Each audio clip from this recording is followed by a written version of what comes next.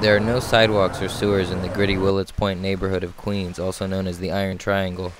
This scrappy industrial neighborhood, home to roughly 255 businesses, is perhaps in its last days.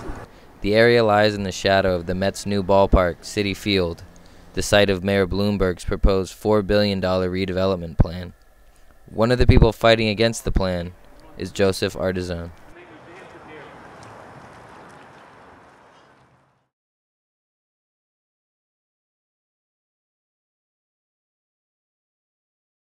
As far as the city goes, we're a blight.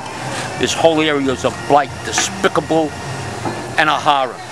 And the really most horrible part is that they don't give us the sanitary sewers that we've asked for for 50, 60 years, never give it to us, and then they call us a horror. Well, so far the uh, economic development is nothing but presented deceit and deception and chicanery. Just goes to show you there was no plan. There's nothing really concrete in what they're doing to take our property. Absolutely not an iota. Kind of dictatorial, is it not? I would say so, to a great degree. Now, as far as it goes down here, we've got a lot of businesses down here that are. You want to go down?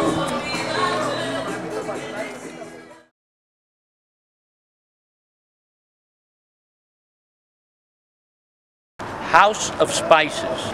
They make, manufacture, and process Indian food. They service the whole East Coast from this place right here.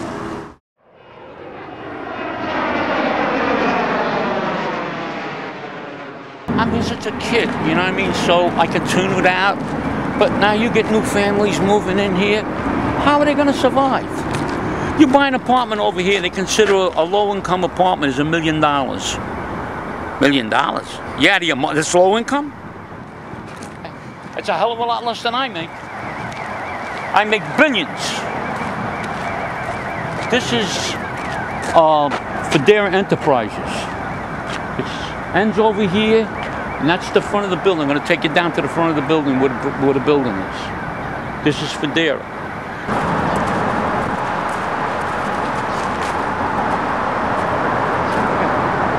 Place right. Look at it.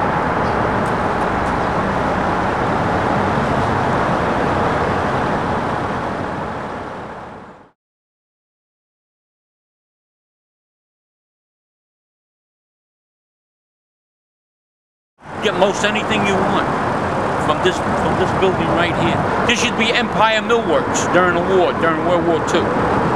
Eminent domain is going to give them a token amount for their property, and then they're going to have to go around and try and borrow money to turn around and relocate somewhere else.